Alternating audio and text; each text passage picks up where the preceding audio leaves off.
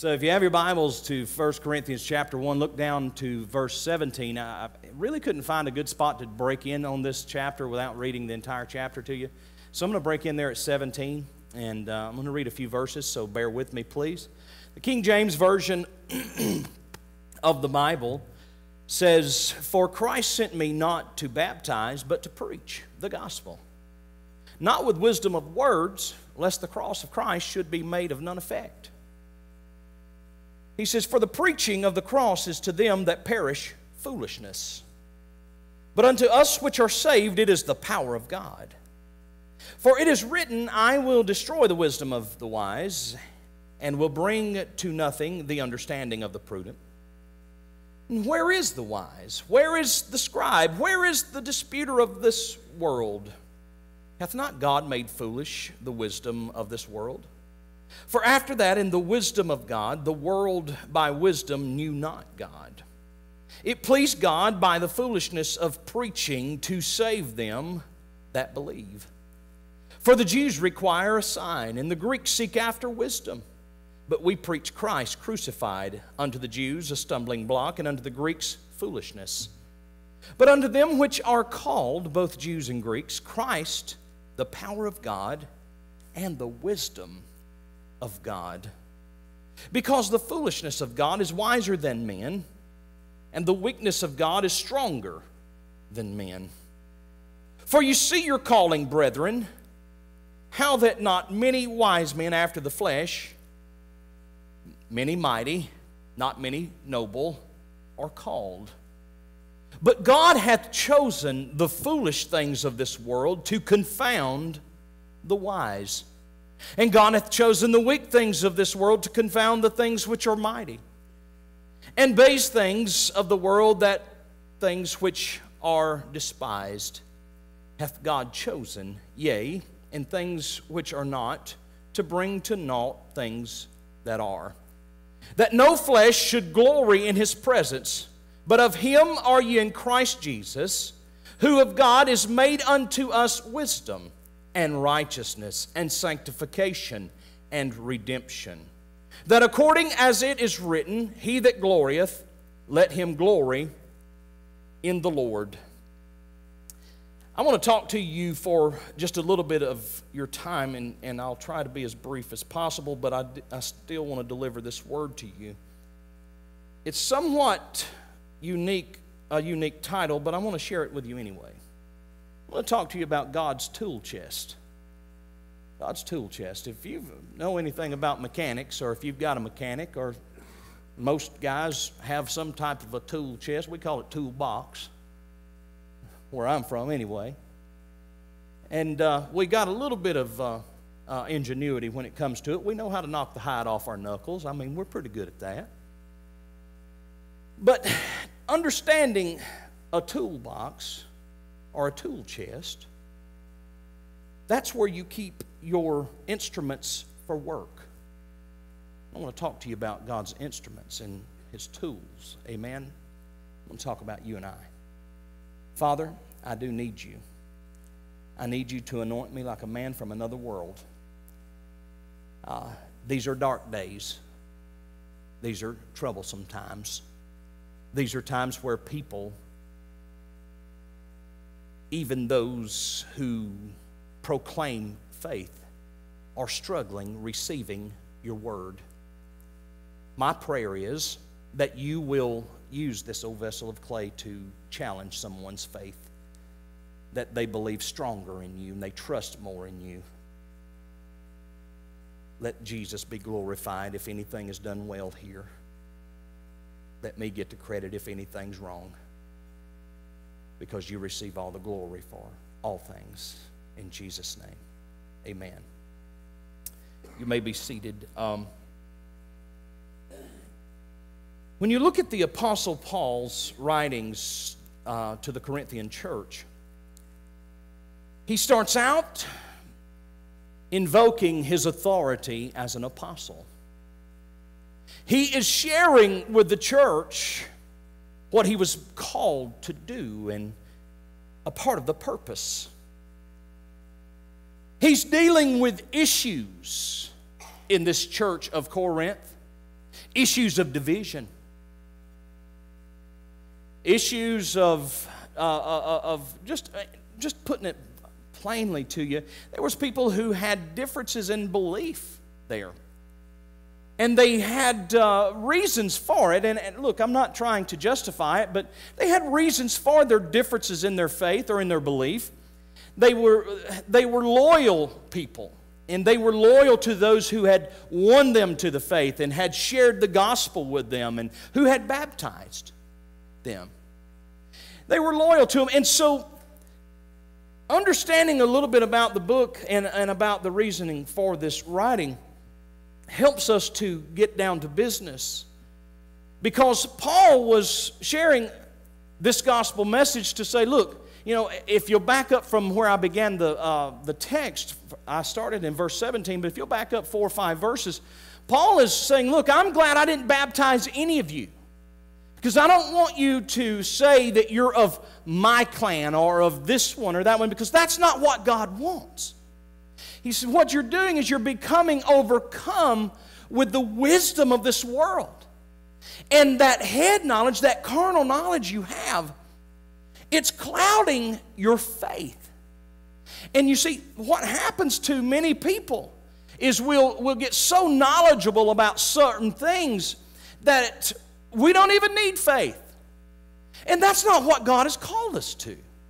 Amen? He's called us to a faith. And you say, well, Pastor, why are you focusing so much on this? Because there are good people that God has placed His hand on in this church or in the church as a whole.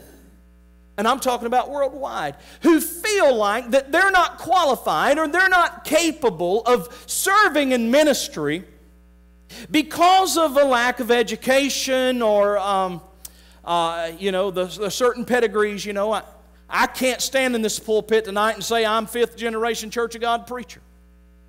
There's nothing wrong with that, but I can't do that. I don't have those credentials.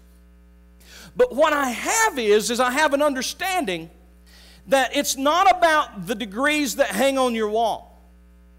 It's not about the eloquence of speech. It's not about the church or the clan quote that you come from.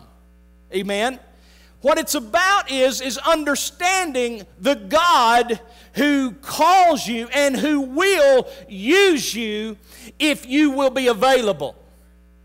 Too often, um, and, and I'm only going to throw an old number at you, and I'm not, this is not a complaint or an indictment at, at, of any type. I'm just giving you some numbers.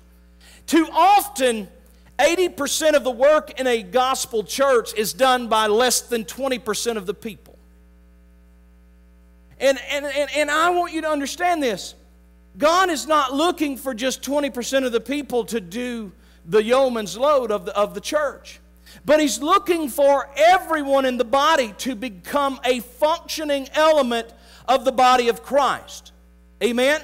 He wants us to be a tool that He can use for His kingdom.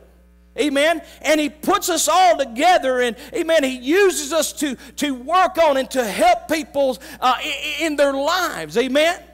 And now, the, one of the, my favorite scriptures of Paul's writings comes from the text that I read to you tonight, and it's verses 27 and 28 of 1 Corinthians chapter 1.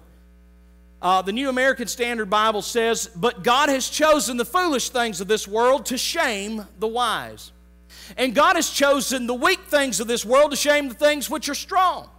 And the base things of the world, and, and listen, and has and, and the despised, that those that despise God has He has chosen, listen, the things that are not, so that He may nullify the things that are. What he's saying is, look, he's God can use anybody that is willing to be used. And in fact, God chooses to use people that doesn't have certain pedigrees so that he will be sure to receive the glory, amen, from anything good that might come from that vessel.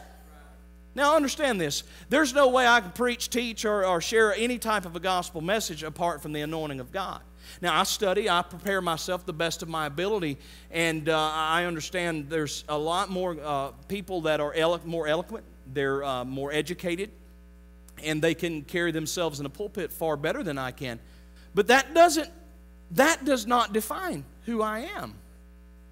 What defines who I am is my availability to Christ and the calling that He's placed on my life. So, what does that do for me? That, well, that gives me this assurance that no matter if they are people out there who's better or are more, quote, qualified, that I don't think there's anybody who's any more called.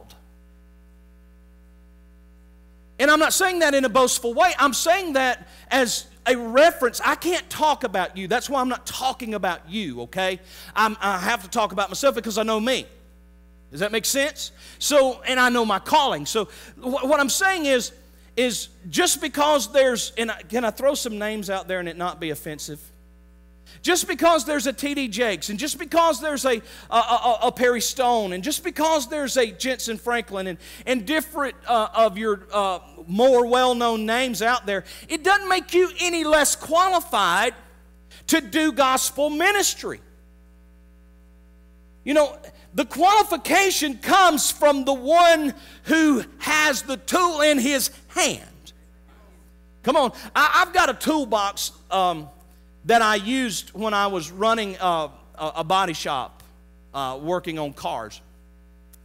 And uh, I, I, still have that toolbox, and I have a lot of those tools left. I didn't keep them all, but I have a lot of the tools that uh, of the uh, quote of the trade. And so, if it comes to uh, minor repairs on a car or something like that, I can do in my yard. I, I, can just go out there and work on my own car, and I'm I'm I'm, I'm good with that. And um, over the years of using those tools, I became acquainted with where they go. I became acquainted with what I need before I start the project. And when I get out there to start on the project, that tool, if I lay it down beside the car, it will not fix that car. Come on. It won't take it apart, it won't put it back together. It has to be in the hand of the mechanic or the, or, or the laborer before that tool is any good. And then I have found this out that no matter how great that tool is, if it's not in the qualified hands, it's not any good at all. What are you saying, Pastor? There's some people who dwell and, and depend so much on qualifications and, and, and, eloquence and so many things that they disqualify themselves for ever doing anything in God's kingdom. Please hear me. All you have to do is place yourself in the hands of the Master. You may not look the part, you may not sound the part, you may not have the pedigree, but you hear me. It's all up to the master who has you in his hand. He knows where to place you, he knows how to use you. He know my my my. Oh, this is even going to preach. I Never thought I'd preach out of the toolbox, but he knows where you fit. Amen. He knows where you will work the best. Some jobs I would take apart a car and I could use an air ratchet. I could pull the front end off a car in 15 minutes.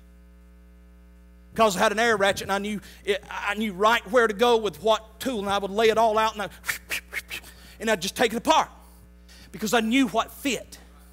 God knows where you fit. You have to learn to trust Him. Amen. You say, well, Pastor, I'm not a Sunday school teacher. Well, great. If you're not a Sunday school teacher, be the best at wherever else God has you. Well, I'm not a gospel preacher. That's okay. You know, everybody's not called to this pulpit. Some who think they are never could handle it. Now, I'm just saying, I, I couldn't do it if it wasn't for the master who has me in his hand. So don't get me wrong, I'm just saying what we have to understand is it's, it's, not, it's not so hard just to be who God has called you to be. Now, I, I, I don't want to come across as I've got some grudge or, or vendetta coming here, but understand this the one who calls you, his ways are different than ours. Let me talk to you about God's ways.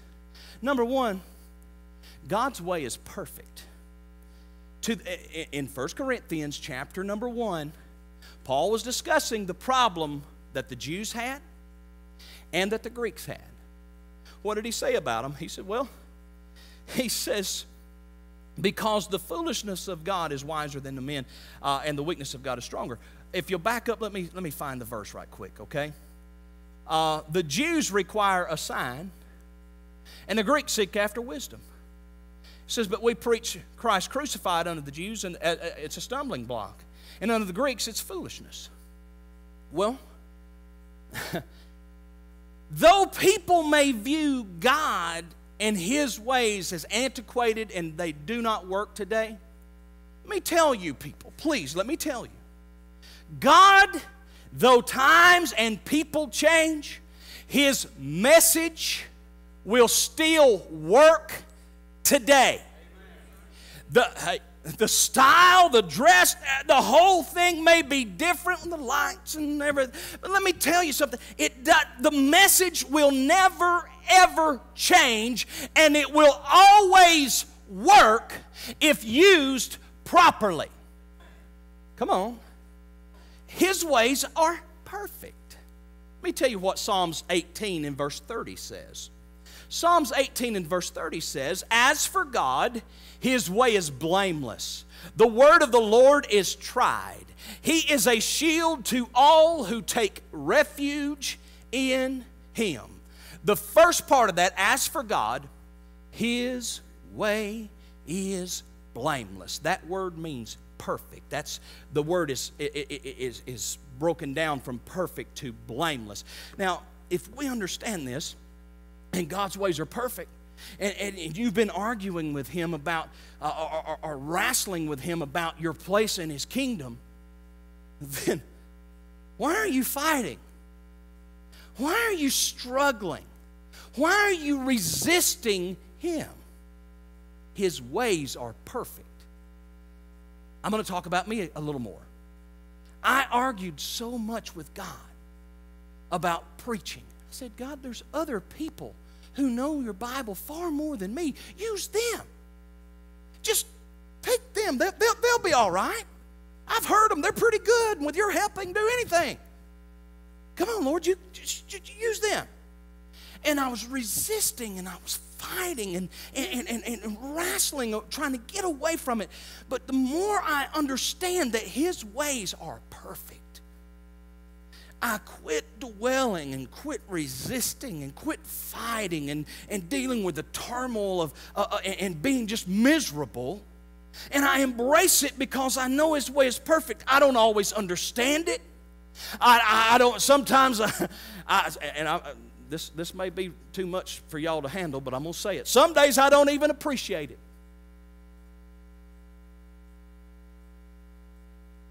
Because I'm thinking, God, are you sure? You know how this is going to turn out. and are you sure about this? But what, what I have to do is I have to understand that His way is perfect. Also, I have to understand this about His ways: is His ways are nothing like man's ways. You know, it's easy to be uh, Monday morning quarterbacks, armchair quarterbacks. I've discovered the more you let people sit in their seats on the sidelines, the more likely they're to move to the press box and become critics.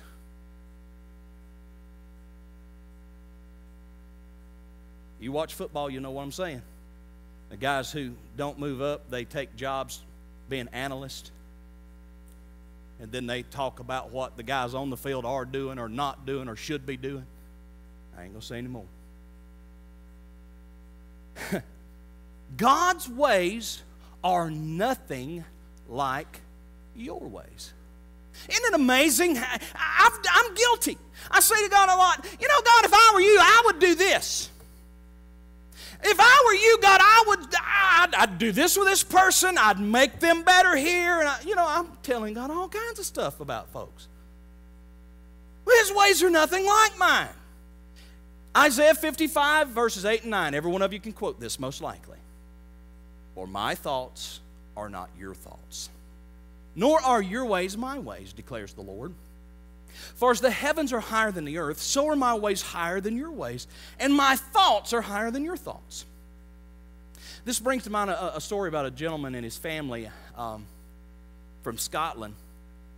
Their last name was Clark. they had this dream the husband and the wife, their nine children. They wanted to immigrate to the United States. To make that dream a reality, they struggled, they scrimped, and saved.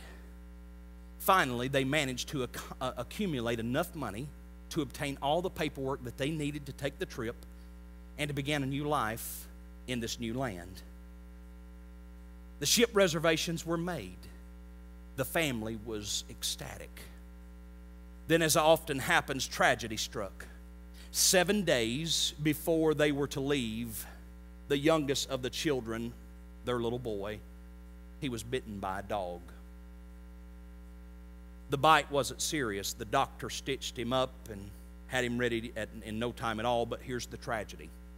The doctor had to hang a yellow sign on the Clark's front door. The sign was a warning to everybody to stay away because there was the possibility, uh, though it was a very small chance, but it was a possibility that the boy might contract rabies from this dog bite from an unknown dog. Their ship was to sail in one week. The family was quarantined for two. They would have to stay behind as their ship and their dreams sailed off into the sunset. The father was outraged at what he had felt was just unfair, unjust. It was a bad hand that he felt like he had been dealt. He went down to the pier to stare at the ship as it set forth. The gentleman was furious at God, frustrated with his son.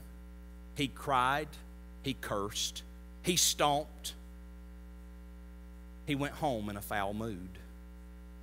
He stayed that way as well.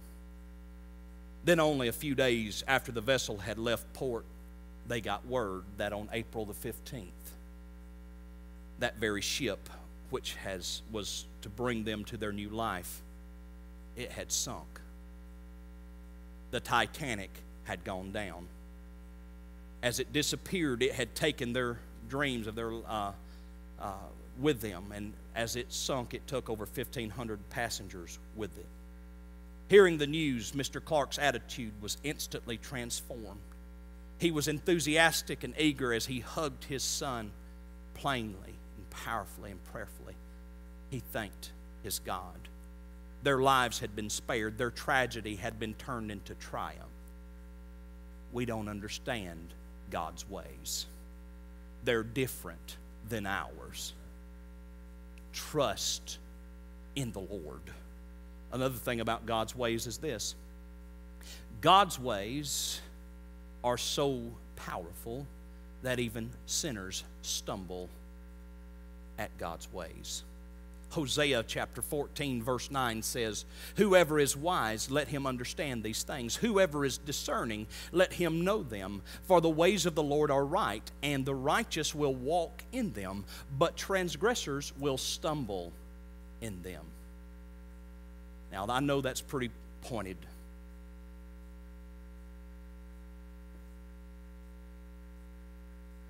But if we'll trust God and if we'll follow His ways and we'll stay as close as we can to the foot of the cross in doing so, we'll be able to keep His ways. Amen? But if we want to sin and live a life that's not pleasing to the Lord, if we want to continue just to rebel against God's word in defiance of His holiness, then we will surely stumble. What are you saying, Pastor? I'm saying God wants to use us, but oftentimes we rebel against Him. Rebellion against God is sin. Do you hear me? It's sin. The Bible refers to it as, as the, the sin of rebellion is as the sin of witchcraft. What are you saying, Pastor? Well, why do we fight so hard and stumble and struggle against God? Just live right, walk right, and walk in His ways. Why is that? Because His ways are everlasting. Times change, people change, but God never changes. Habakkuk chapter 3, verse 6 says, He stood and surveyed the earth. He looked and startled the nations. Yes, the perpetual mountains were shattered, the ancient hills collapsed. His ways are everlasting. Folks, what that tells me is, is once God decides to use you, He doesn't change His mind.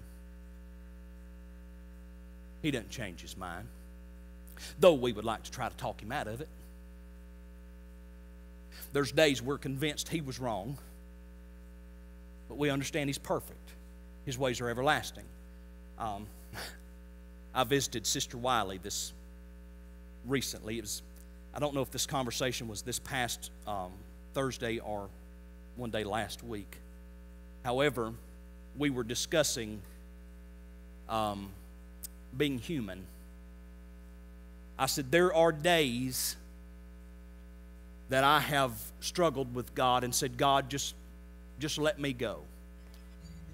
Just let me go. I, I, not that I want to leave church, just, just I, I had a fleshly moment, and I'm confessing. God, if you'll just let me go, I'll be the best body man there is. If you'll just let me go, I'll be, I, will be even more committed to my family. If you'll just let me go. Boy, Sister Wiley cut me off in mid conversation. She said, The gifts and calls of God's without repentance.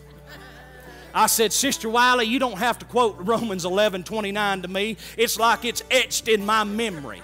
Every time I've told God I'll quit or I'm giving up or I'm throwing in the towel, I see that scripture and it runs in any version I want through my mind. It can be in NIV, it can be the New King James or the King James, it could be the Amplified version and have parentheses with words in between it. However, I know that I can't get away from it, so thank you for reminding me.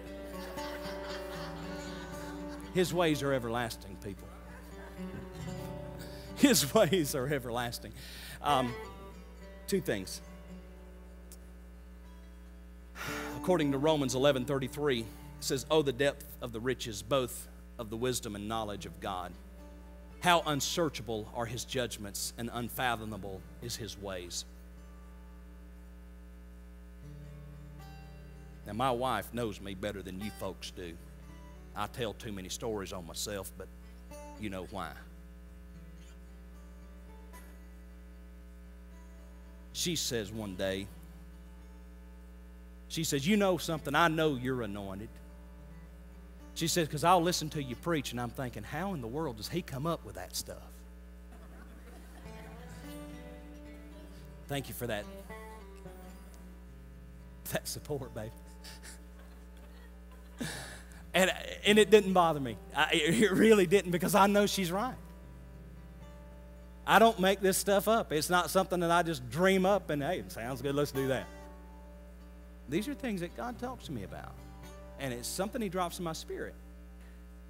His ways and His riches are unsearchable, His ways are unfathomable. In other words, you can't even imagine what He wants to do with you. Did you hear that? You can't dream too big for God. But, Pastor, this has happened, or that's gone wrong, or I've got this. The World Series is being played right now. Was it the Royals and the Giants playing one another? It's bad. I've known him watched enough baseball to know. Those boys make some money, don't they, PK? They get up there to the plate and they'll stand in that batter's box. And boy, they've got different routines. You know, they're either tapping or they, they're swinging around. They, they're, they're, they're preparing, they're getting in that zone. Man, not, and that picture out there on that mound who's equally or equally as good or better than that hitter is. He's standing in, he's waiting. The ball comes zipping through and he looked and he took a strike. I have not yet seen one batter after the first strike turn around and walk to the dugout and say, I quit. Not even after two strikes. Though I did see a batter that after three balls thrown against him, thought it was the fourth one, threw his bat down, started trugging down to the first baseline, and they stopped him, and I'm thinking, that would be me. National TV, everybody's watching. And they said, ho, ho, ho. He looked, he says, what? You got to come back. Ain't time for you yet. He He's, oh, oh. Then he gets up and strikes out. And even after he struck out, he didn't quit the team. So what I'm saying is, is no matter how bad things are in your life or how they've been, or no matter how bad you miserably failed at your last attempt, don't quit the team. The master has you in his hands. He's got you and he knows what he my my my my my. He knows where he can use you. Gonna give you another shop talk for a minute. I have literally took a box-end wrench and been under something, sweat in my eyes, uh, dirt in my teeth, everything. It was bad. And all of a sudden, wham! And I feel like I tore it off. and you're under the car, you can't move and you can't throw anything because it just flew out and you can't feel your hand. But I picked that tool up after I put the hide back on the best I could, went back to work.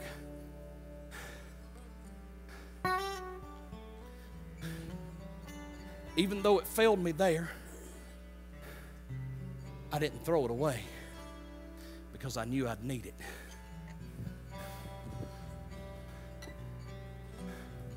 And I'm not that great at this. If God, His ways are so big, you can't outdream Him. Lastly, why is, why is it so wonderful about the Lord? Because He's just and He's true.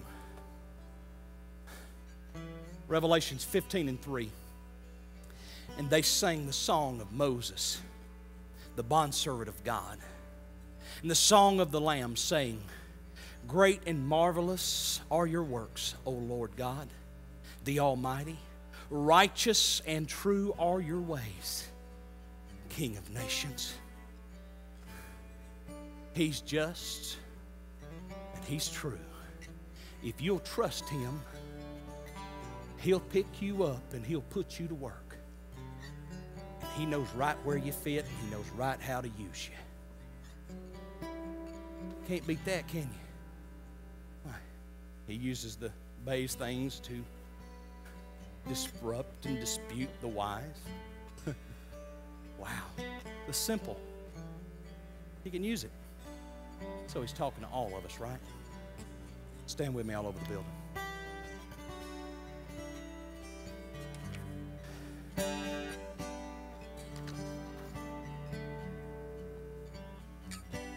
Said it earlier, I say again, I don't understand all of his ways. I'm as human as everybody else in this room. I struggle sometimes. I disagree sometimes, even with the Lord. I got a few of you that'll give me the Lutheran amen and agree. Yeah, me too, Pastor. I know he's right, but I'm stubborn. And I don't want him to be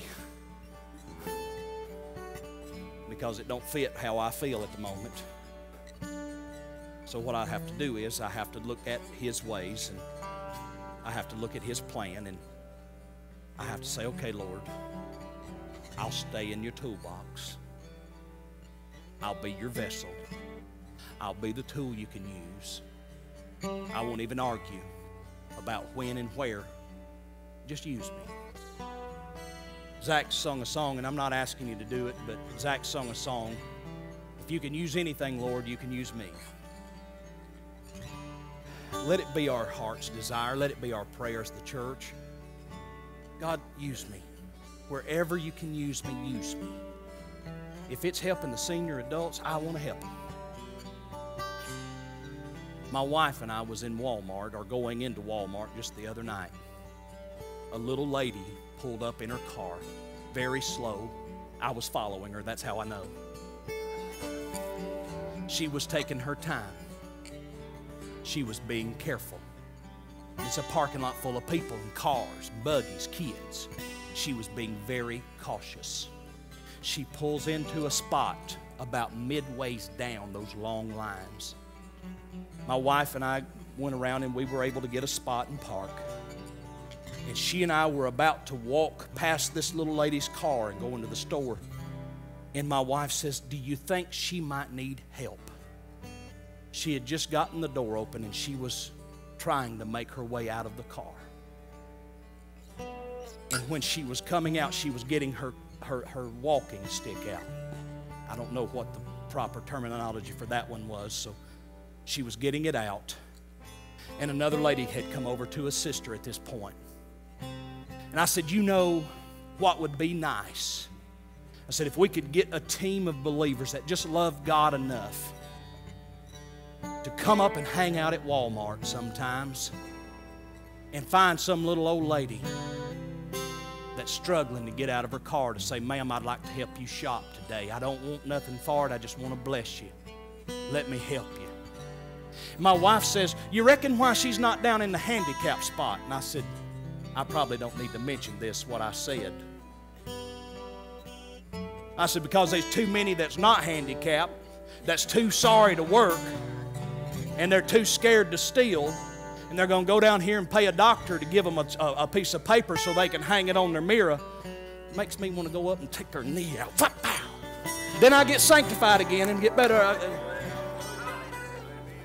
They pull up, doing all kind of move coming out. But I see that little lady, and I got to get saved again right quick. So let me. Said, if we could just get some people to love God enough, I said, what a ministry. If that was my mom, or if that was my grandmother, or if that was my neighbor, what it would do to my hardened heart to see somebody say, you know what, I, I don't, I, you keep your money, that's a, you know, you, you, you control that part. Let me just help you with with a gallon of milk that's too heavy for you. Let me, let me help you with a case of water, or let me help you with the, the laundry detergent. Just let me help you. You say, Well, I ain't never thought of that.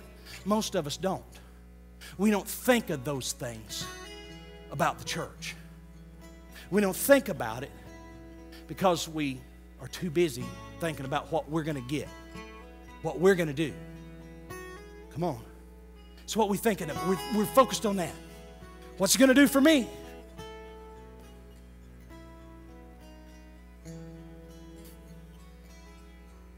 Y'all did notice I said some lady had got there to help.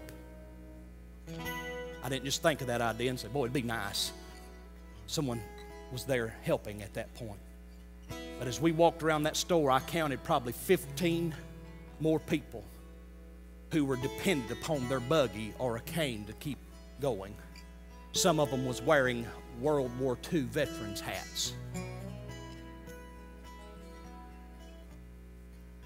They crawled through gunfire for us. Just saying, if you can use anything, Lord, you can use me. But it's not glamorous. You don't get up on the stage a lot doing that.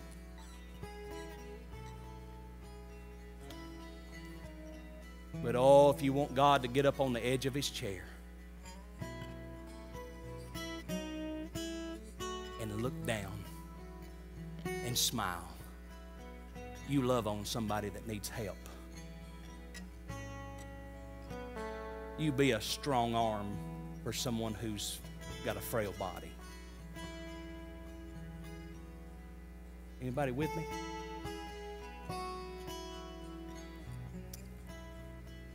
If it's your prayer, and I, am not going to take much more of your time, but if it's your prayer, you can use anything, Lord, you can use me. Won't you meet me in this altar and just stand? You'll come to the altar and just stand. You don't, I don't, you don't have to kneel. If you're not a Christian, then I want you to become one. Jesus Christ died so you could become one. He's not going to do some, some masterful, wonderful, crazy fix. He just wants to save you. And He wants you to love Him. And He wants you to grow. So He's just like a master mechanic. He'll know where to use you. He'll know how to take care of you.